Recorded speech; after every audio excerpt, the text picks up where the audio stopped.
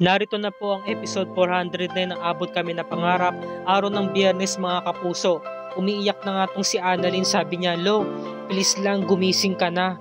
Gustong gusto na kita makasama. Meron pa naman akong regalong ibibigay sa'yo. Ngayong Christmas. Alam mo, Lo, noong umpisa pa lamang na makilala kita, ang sungit-sungit mo. At saka meron akong nakilalang babae kanina. Matangkad siya, maganda. Alam mo ang nakakatuwa, pares kayo ng pag-uugali. Kasi siya masungit siya eh. Kagaya ni Tita Giselle, kayong tatlo, kaibigan ka raw niya. Nagulat nga ako kasi meron ka pa po palang mga kilalang tao na hindi namin kakilala. Marami ka po mga kilala. Kaya please lang lo, mangangaroling na lang ako, kakantahan na lang kita ha. Jingle bells, jingle bells, jingle all the way. Diba? Talagang kinantahan to ni Annalyn habang nga natutulog si Lolo Pepe niya kasi nga merong posibilidad na naririnig siya nito, di ba, habang ito'y comatose. Kaya habang kumakanta si Annalyn, kinakantahan niya ng Christmas song ang lolo niya, umiiyak siya at nakikiusap siya na sana'y manumbalik na. Magkamali na ang lolo niya dahil marami pa raw siyang ibibigay dito. Paglabas niya ng kwarto, nakita siya ni Doc Lindon at kinamusta siya. Sabi naman ni Doc Lindon, kamusta ka doktora? Ngayon, hahawakan sana siya ni Doc Lindon. Siyempre si Doc Lindon, ano siya eh, conservative na lalaki. Kaya naman, eh, hindi na rin nakapagpigil si Annalyn. Kaya niyakap na rin niya si Doc Lindon. Ngayon, moment na sana nung dalawa na antala dahil umentra tong si RJ. Sabi naman ng ama, Anak, ba't ko umiiyak? May problema ba sa lolo mo? May nangyari ba sa kanya? Wala po, tay. Malungkot lang po ako kasi hindi pa rin po nanunumbalik sa dati si lolo. Napayakap na lamang siya sa tatay niya. Atay, kamusta po ba yung kaso? Yung sabi po ng mga pulis tungkol po kay Zoe, ano po ba yung nangyari? Sabi naman ni RJ, ayun na nga anak, napatunayan na walang sala itong si Zoe. Ngayon, ito naman si Doc Lindon, sasakay na sana siya ng elevator, ngunit pinigilan siya ni na Nurse Evan and company para makimarites ko ano ba yung nangyari sa resulta ng investigasyon dahil nga nalaman nila merong bagong ebidensya. Sabi naman ni Doc Lindon, sa mga bagay na yan wala pa akong nalalaman, pasensya na.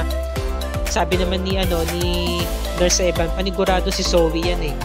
Talagang gumagawa ng paraan para makaligtas eh. Biglang umentra si Dr. Luke, sabi niya, yan na naman kayo eh.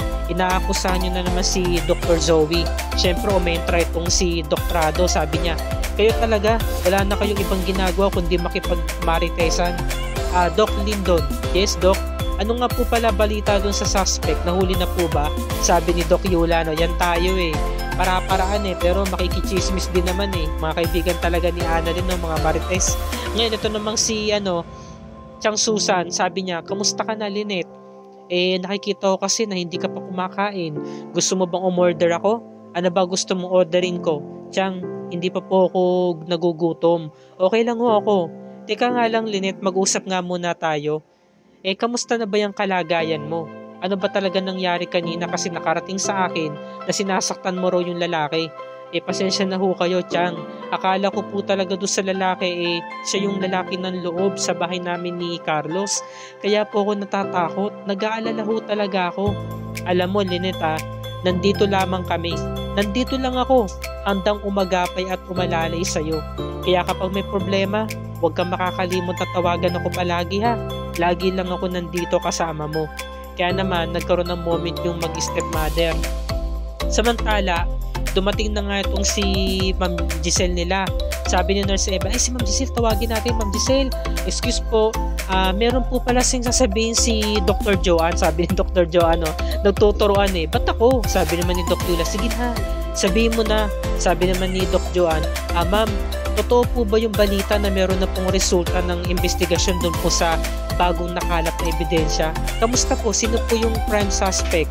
Sabi naman ni Giselle, well, napatunayan na walang kasalanan si Zoe, pero sa ngayon, patuloy pa rin hinahanap ni Police Officer Mark pati ng mga kasama niyang kapulisan yung kasabwat ni Balahadja para kapag nahuli siya, eh sana eh kumanta siya kung sino ba talaga ang mastermind nito. At syempre, si Balahadja pa rin kasi ang prime suspect na tinuturo sa ngayon. Sabi naman ni Doc Prado, eh ma'am, eh kamusta po ba yung prime suspect? Nahuli na po ba? Kasi nga nagtanong nga siya kaya nasagot na nga ni Giselle. Ngayon sabi naman ng mga doktora, napatawa sila kasi nga nakipagmaritesa na naman tong si Doc Ken. Ngayon eto pa, sabi naman ni nurse ano Evan, hindi kaya Mars may kinalaman to yung babaeng nakasalamuhan natin kanina, yung matangkad. Oo nga po, Ma'am Giselle, meron po kaming babaeng nakausap kanina. Basta matangkad, morena, pang beauty queen yung height niya, maganda. Ngayon naalala ni Giselle na meron nga siyang uh, babaeng nakausap kanina. Kaya naman para bang nagtutugma yung mga sinasabi ni Nurse Karen sa ni Evan kay Giselle. Parang totoo. Yun nga lang, hindi nga lang siya nagpahalata na nakita niya yung babaeng yun. Sabi naman ni Doc Ken, ayan niyo po ma'am, kanina ko po po pinagsasabihan itong mga ito eh, na huwag makipagmaritesan sa oras ng trabaho. Yan niyo po ma'am, pag nakita ko po yung magandang babae, i-report ko po agad sa inyo. O sige, Doc, sige na, mauna na ako, alis na ako. Ngayon, naiwan ni Giselle yung cellphone niya at nakita ni Nurse Evan sa ni Nurse Karen kaya naman pinuntahan nila yung cellphone para kunin at habulin nga si Giselle. Ma'am, ma'am, eh naiwan niyo po itong cellphone niyo. Ay, oo pala. Thank you ha. Alam niyo ba, dami na nangyari sa akin itong bumaghapon na to. Kanina, nakabangga ako ng babae may dalang coffee. Mabuti na lamang walang nangyari. Tapos ngayon, naiwan ko naman yung cellphone ko. Thank you talaga ha. Nako ma'am, kailangan niyo po mag-rest. Baka po dala ng stress yan, sabi ni Nurse Eva, no? Teka, magmumukhang stress si Ma'am Giselle. Isa beauty niyang yan, no? Ay, nako kayo talaga. Napatawa si Giselle. Sabi niya, teka lang, wala ba kayong duty ngayon? Ba't hindi kayo naka-uniform? Eh ma'am, ang totoo po niyan, wala na po kami sa Apex, matagal na eh. Tinanggal po kami ni Ma'am Moira. Akong ganun, uh, bumalik kayo. Pwede ko naman kayo pabalikin. I- yun ay kung meron na kayo na-applyan. Ay, wala pa po, ma'am. Naku, maraming salamat po. Maraming salamat po talaga, sabi ni Nurse Karen sa ni Evan. Ngayon, nakikinig sa kanila si Justin. Dumudungaw. At napansin ito ni Giselle. Sabi kasi ni Giselle, okay, sige, hintayin nyo na lamang bukas yung tawag na HR para bumalik kayo dito para makapag-duty na ulit kayo. Maraming salamat po talaga, ma'am. Ngayon, pag lingon ni Giselle sa likod, dahil nga magkakahiwalay na nga sila, nahuli ni Giselle na mayroong babaeng nakikinig sa kanila. Sino yun? Nakita nyo ba? Nurse Karen and Evan? Ano po yun, ma'am? Wala po kami napuna. Hindi po namin napansin. Hindi nyo ba napansin? Merong babaeng nakikinig sa atin. Kanina pa pala. Nakadungaw siya. Bigla siyang nawala. Sabi ni Nurse Evan, baka po si Ma'am Moira nakikinig. Imposible namang si Moira kasi kung si Moira yon, edi sana malayo pa lang siya naamoy ko na yung kasama na ugali niya. Sabi naman ni Giselle, nakakapagtaka lang kasi merong babaeng nakikinig sa atin. Ibang babae siya eh. Sabi niya, Naku, hindi po kaya ano yun, stress lang po talaga yan, Ma'am Giselle. Sige po, kailangan niyo po talaga umuwi saka mag-rest. Oo nga, sabi ni Nurse Karen, no. Maraming salamat ha. Ngayon, ito namang si Lynette, natutulog. Ngayon, bigla na lamang siya naalipungatan dahil nga nakatulog siya sa loob ng opisina niya, eh wala naman siyang duty ngayon. Kumbaga, mas pinili niya mag-stay sa ospital kasama nga si Carlos kesa na may manatili sa bahay. Natatakot siya. Ngayon, para bang nadidiluryo siya. Dahil nga nakita niya na meron nagbukas ng pinto paunti-unti, nagmistulang horror. Ngayon, nung nagbukas yung ilaw, inawakan siya ng kamay. Nagulat na lamang si Lynette at pinaghampas niya ng bag si Chang Susan. Si Chang Susan ang nahampas niya ng bag ng paulit-ulit. Ngayon, ito namang gwardya, pinipigilan si Moira, Ma'am, bawal ho kayo dito, ban po kayo dito, bawal nga po kayo dito, saglit lang. Dadalan ko ng pagkain yung anak ko si Zoe. Bilang umentra si Giselle. Wait lang, Moira. Ano to? Pumunta ka dito? Alam mo namang ban ka dito, di ba? Ipapaalala ko lang sa'yo na bawal kang pumunta dito. Excuse me naman, Giselle. Napaka-OA mo naman. Dinadalan ko lang naman ng pagkain si Zoe, bakit bawal na ba? Alam mo, Moira, wala nang epekto sa akin yung mga palusot mo. Alam ko ang pinunta mo dito dahil kay Papa. Siguro kumukuha ka ng ebidensya, no? Yung resulta ng ebidensya laban sa'yo. Alam ko na yung taktika mo eh. At saka eto ka, hindi naman batang babae si Zoe para dalhan mo ng pagkain, sabi naman ni Moira. Alam mo, Giselle, hindi ka makaka-relate sa buhay ng pagiging ina ko. Dahil kahit malaki na si Zoe, she's still my baby girl. Hindi kagaya mo. Oo, naging ina ka, nagluwal ka ng bata, pero kahit kailan, hindi ka naging ina sa anak mo dahil wala kang kwentang ina. Pinamigay mo siya, di ba? Pinabayaan mo. Kinumpronta talaga ni Moira. Kaya ako, meron akong karapatan na maging ina dahil naranasan ko yun, hindi kagaya mo. Nagalit na si Giselle na puno na. Ano, Giselle? Sasaktan mo ko? Sasampalin mo ko? Sige, gawin mo. Tama naman ang sinabi ko, di ba? Sabi naman ni, Giselle, walang niya ka talaga, Moira. Wala ka na talaga magandang sasabihin. Mabuti pa lumayas ka dito. Ban ka dito, di ba? Ngayon, naririnig ni Annalyn, nahuli ni Annalyn si Moira sa kasi si Giselle. Merong heated confrontation. Lumapit siya, sabi niya, Ma Moira, tigilan niyo po yan. Hindi ko dapat kayo nasaserta na masama kay Tita Giselle. Sabi naman ni Moira, bakit? Totoo naman sinabi ko, di ba? Totoo naman na hindi siya ulirang ina. Wala siyang kwentang ina dahil pinamigay niya at pinabayaan niya ang, ang anak niya. Ngayon, nag-away na. Sabi naman ni Giselle, lumakis ka dito, Moira. Lumabas ka dito. Gusto mo kalad ka rin pa kita? Kinaladkad na nga niya si Moira palabas nga ng Apex. Ngunit napigilan dahil biglang dumating si RJ. Ate, tama na yan. Tama na yan, ate. Ano ba? Moira, ano, Robert?